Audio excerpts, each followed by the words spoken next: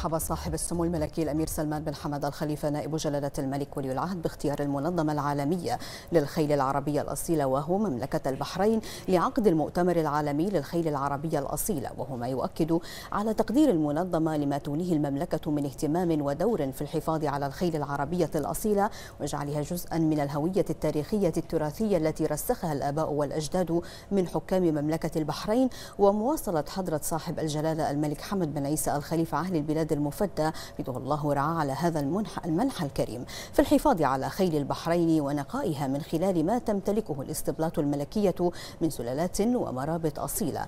جاء ذلك لدى حضور سموه يحفظه الله اليوم حفل افتتاح المؤتمر العالمي للخيل العربية واهو الذي يقام تحت رعاية جلالة الملك المفدى. بيده الله ورعاه والذي حضره عدد من أصحاب السمو المعالي والسعادة وكبار المسؤولين. حيث نقل سموه حفظه الله تحيات حضرة صاحب الجلالة أهل البلاد المفدى. حفظه الله ورعاه إلى رئيس وأعضاء المنظمة العالمية للخيل العربية الأصيلة وجميع المشاركين في المؤتمر وتمنيات جلالته للمشاركين في أعمال المؤتمر العالمي للخيل العربية الأصيلة.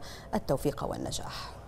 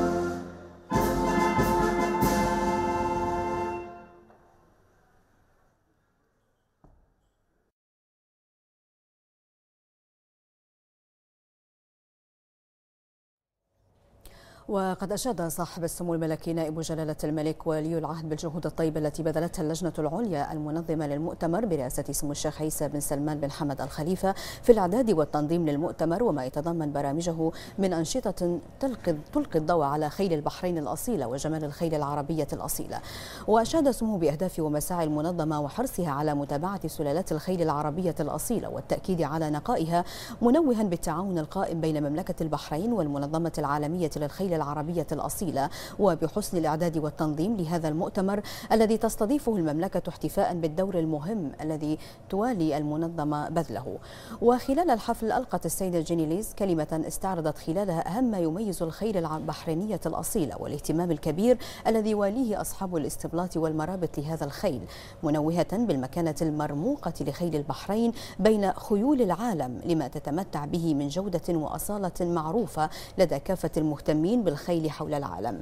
كما ألقى السيد بيتر بوند رئيس المنظمة العالمية للخيل العربية الأصيلة كلمة أعرب فيها عن شكره لمملكة البحرين على استضافتها للمؤتمر حيث يتجدد اللقاء بأعضاء المنظمة في مملكة البحرين بعدما يقرب من عشرين عاما. انقضت منذ آخر اجتماع لها في البحرين في عام 1998 مقدما شكره إلى جلالة الملك المفدى على ما يوليه من اهتمام ودعم للمنظمة. كما عبر عن تقديره لصاحب السمو الملكي نائب جلالة الملك المفدى ولي العهد على حضوره حفل الافتتاح افتتاح المؤتمر مشيرا إلى ما يوليه سمو الشيخ عيسى بن سلمان بن حمد الخليفة رئيس اللجنة المنظمة العليا للمؤتمر على التنظيم والإعداد للمؤتمر.